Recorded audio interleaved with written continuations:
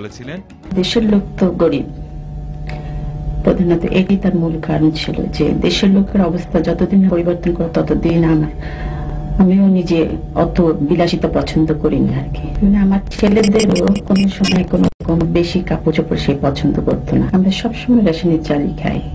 সবসময় মাইনা যা পেতেন সত্যি কথা বলতাম না মাইনা ছিল বোধহয় পে স্লিপ যা আসতো আর কি দু হাজার দুশো বোধ হয় উনি উনি টেন পার্সেন্ট আবার দিয়ে দিয়ে দিতেন। দিতেন। তো তার মধ্যে থেকে আমাকে সে দু হাজার টাকা দিত। ওর মধ্যেই আমার সংসার চালাতে হতো।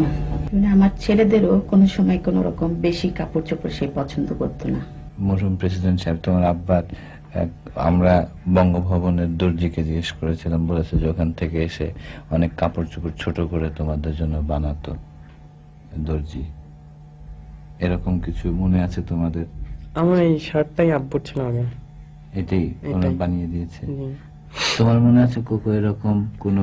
আমার দুটো প্যান্ট ছোট করে বানিয়ে দিয়েছিল। তোমার আব্বার প্যান্ট ছোট করে বানিয়ে দিয়েছে